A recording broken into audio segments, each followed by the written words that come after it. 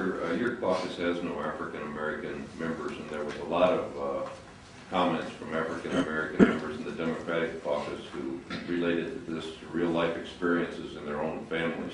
Do you think that they uh, are unnecessarily fearful about this, or do you think it was insincere on their part? There was some very passionate comments about this, and what could you do to reassure them that that wasn't your goal? I was a little bit embarrassed by the Florida debate today. The suggestion that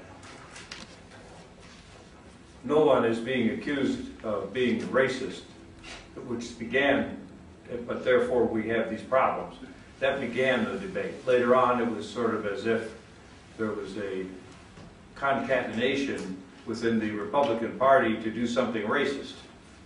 And I don't think that that is fair in any way, shape, or form. Uh, I'm always amused when I hear the Democrat leadership say, well, you don't have any blacks in your caucus. They beat the heck out of the last one we had in 1972 in Dayton, Ohio.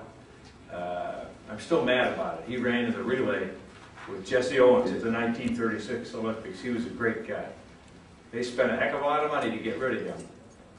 Uh, obviously, we go out and recruit. And when we do that, we try to get black uh, uh, candidates. Uh, you might ask the speaker if he had an opponent last time, what color he was.